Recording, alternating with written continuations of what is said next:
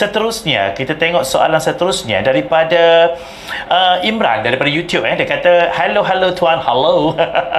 Komen ketua hakim macam mana? SPRM tak rujuk mereka atau CJ sebelum siasatan Naz, siasat Nazlan. Itu protokol itu protokol mana? Uh, baik saudara Imran terima kasih.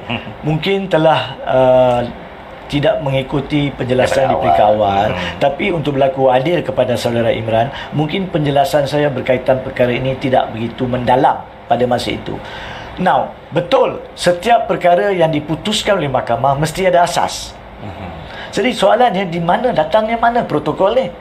Macam mana ketua hakim negara boleh wujudkan protokol?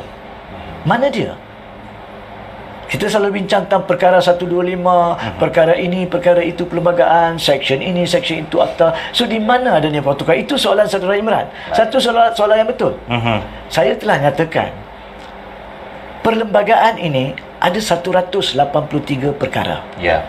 Tetapi ada dalam perlembagaan tersebut perkara yang tertulis, uh-huh. yakni yang tersurat dan perkara yang tersirat. Ya. Yeah. Perkara yang tersirat perlu ada setiap sistem perundangan satu dunia mm-hmm. mesti ada yang tersirat yes. tanpa yang tersirat maka tidak dapat dicantumkan yang tersurat sampai menjadi harmoni ya yeah. okey Nah, tidak boleh tertulis secara tersurat seseratus peratus setiap perkara di dalam perlembagaan. Mana-mana perlembagaan, walaupun negara Amerika Syarikat maupun negara Jepun, ya. Chile atau Papua New Guinea. Tambahan pula di England, tidak ada undang-undang bertulis, perlembagaan bertulis pun. Tapi berjalan mematuhi perlembagaan. Macam mana? Jadi apa yang dimaksudkan wujudnya protokol itu adalah apabila ketua hakim negara dalam penghakiman beliau baca telah menyatakan jika dilihat mm-hmm. kepada struktur kewujudan kuasa siasatan yang ada di tangan pihak berkuasa uh-huh. dan dilihat kepada kuasa administratif ketua hakim negara yang diwujudkan di bawah perlembagaan kedua-duanya kena saling kait mengait yeah. satu tidak boleh mengatasi yang lain satu lagi tidak boleh mengatasi yang lain kami dalam sistem kehakiman tidak mempunyai kuasa menyiasat. Uh-huh. Kami cuma ada kuasa untuk memulakan langkah tribunal ataupun langkah jawatan kuasa etika. Tetapi pada masa itu kami cuma boleh mulakan sekiranya kami dimaklumkan. Uh-huh. Jadi protokol ini adalah tersirat.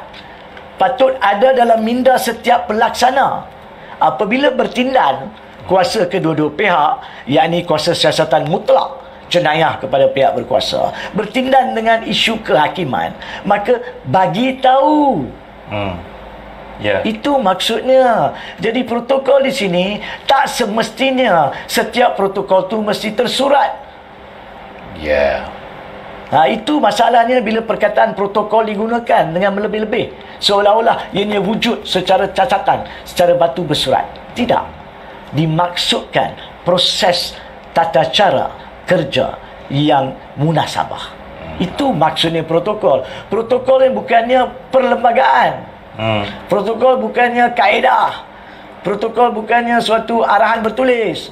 Satu arahan munasabah. Suatu fikiran munasabah. Yang perlu ada untuk mencantumkan ke setiap setiap sudut perlembagaan yang tersurat melalui konsep yang perlu ada tersirat. Barulah perlembagaan itu dapat berfungsi.